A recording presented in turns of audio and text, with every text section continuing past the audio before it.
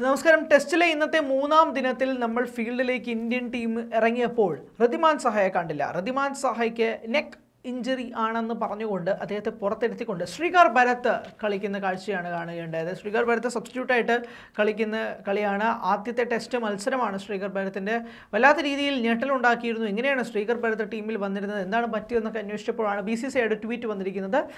ഋതിമൻ സഹ കളിക്കുന്നില്ല. സഹ കളിക്കാത്തത് കൊണ്ട് തന്നെയാണ് ശ്രീകർ ഭരത്തിനെ ഇറക്കുന്നത് എന്നുള്ള കാഴ്ച. ശ്രീകർ ഭരത് ഭരത് നീതി പുലർത്തിയോ എന്ന ചോദ്യം ചോദിച്ചാൽ ഒന്നാമത് പിച്ചിന് ബൗൺസ് ഇല്ല. പിച്ചിന് ബൗൺസ് ഇല്ലാതെ നിൽക്കുന്നത് കൊണ്ട് തന്നെ നല്ല കഷ്ടപ്പെട്ടുകൊണ്ടാണ് പേസ് ബോൾ എറിയുന്നത് പിച്ചിന് ബൗൺസ് ഇല്ലാത്തത് കൊണ്ട് തന്നെ എഡ്ജ് കിട്ടിയാൽ പോലും ക്യാരി ചെയ്യുന്നില്ല വിക്കറ്റ് കീപ്പറിലാവട്ടെ സ്ലിപ്പിലോട്ടൊക്കെ ക്യാരി ചെയ്യാൻ നല്ല ബുദ്ധിമുട്ടുകൾ നമുക്കിപ്പോൾ ഫസ്റ്റ് സെഷൻ കാണുമ്പോൾ തന്നെ നമുക്ക് മനസ്സിലാക്കാൻ സാധിക്കുന്നുണ്ട്. ന്യൂ ബോൾ എടുത്തിട്ട് പോലും വലിയ രീതിയിൽ മാറ്റങ്ങളൊന്നും സംഭവിക്കുന്നില്ല. അപ്പോൾ വലിയ ബുദ്ധിമുട്ടിൽ തന്നെയുള്ള ഒരു കണ്ടീഷനിലാണ് ശ്രീകർ പരത്ത് കളിക്കുന്നത്. പ്രത്യേകിച്ച് അശ്വിനും അക്ഷർ പട്ടേലും എറിയുമ്പോൾ ബൗൺസ് ചെയ്ത് താഴെ കൂടെ പോകുന്നു. ജഡേജയും എറിയുമ്പോൾ പോലും നേരെ ഒരു ബൗൺസ് കിട്ടാതെ പോകുന്നു. അങ്ങനത്തെ ഒരു അവസ്ഥയിലാണ് നിൽക്കുന്നത്. പക്ഷേ ഇതുവരെയുള്ള കളി എടുത്ത് നോക്കുകയാണെങ്കിൽ ശ്രീകർ പടുത്ത് നല്ല രീതിയിൽ തന്നെയാണ് കളിക്കുന്നത് എന്ന് വേണമെങ്കിൽ പറയാൻ പറ്റുന്ന ഒരു അരങ്ങേറ്റം ആണ്.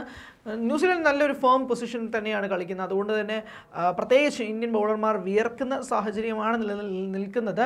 ശ്രീകർ ഭരത്തിനെ ഇനി ബാറ്റ് ചെയ്യാൻ പറ്റുമോ? അങ്ങനത്തെ തുടങ്ങിയ നിരവധി ചോദ്യങ്ങളൊക്കെ ഇപ്പോഴും നിൽക്കുന്നുണ്ട്. സാഹയ്ക്ക് പെട്ടെന്ന് തന്നെ പരിക്ക് പൂർണമായി മാറിക്കൊണ്ട് സാഹ തിരിച്ചെത്തുമെന്നും ബി സി സി ഐ അറിയിക്കുന്നുണ്ട്.